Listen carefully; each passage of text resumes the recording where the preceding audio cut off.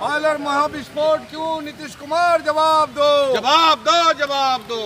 शिक्षा का निजीकरण करना बंद करना बंद करो। बंद करो बंद करो। जेएनयू छात्रों पर पुलिस दमन क्यों? मोदी नरेंद्र मोदी जवाब। जेएनयू छात्राओं से बदसलूकी करने वाले दिल्ली पुलिस पर मुकदमा करना होगा। करना होगा करना होगा। जेएनयू छात्रों के छात्राओं के साथ बदसलूकी करने वाले है कि कई मुद्दे हैं।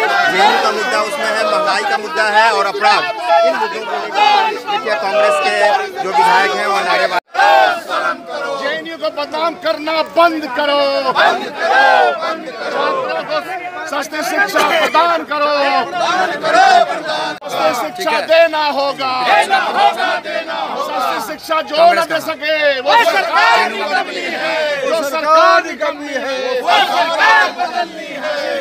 पर है। अब प्याज ये सब हो गया है शिक्षा में जो है बढ़ोतरी कर रहा है खर्च इसमें नहीं जा रहा है इन्हीं सब मुद्दों को लेकर और यहाँ के बच्चे? शिक्षा का दर तो बढ़ा पहले लोग शिक्षा के तरफ़ बहुत कम लोगों का था अब हर परिवार चाहे वो गरीब हो चाहे अमीर हो किसी भी स्तर का हो सबका ध्यान शिक्षा की तरफ़ लेकिन ये दुर्भाग्य है।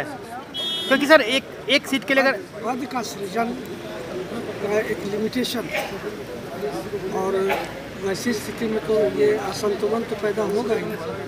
लेकिन इसके लिए फिर आगे कुछ ना कुछ उपाय करना होगा, तब ये संतुलित होगा। जो लाठी चार्ज हो रहा है गलत हो रहा है। हाँ रोकिए रोकिए। पे जो लाठी चार्ज हो रहा है ये गलत है। हाँ। इसको सरकार को देखना चाहिए जो जो छात्र का जो जेनविन जो मुद्दा है मोबाइल उसको सरकार को मानना चाहिए। ये गलत हो रहा है कि जेएनयू के जवानों पे और महिलाओं पे लाठी बरसा रही है ये गलत है। तेज प्रताप जी एनआरसी के लगाने की बात की जा रही है। बिहार में कह रहे कि एनआरसी लागू कर दिया जाएगा। वो जेडीयू बीजेपी जाने आपस में एनआरसी एनआरसी हम लोग को ज़्यादा बोलने की आवश्यकता नहीं है।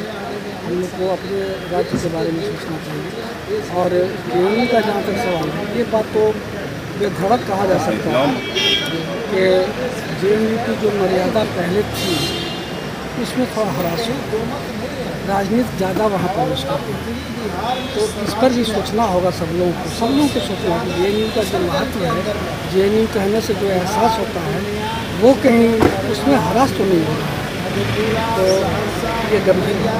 मंत्री जी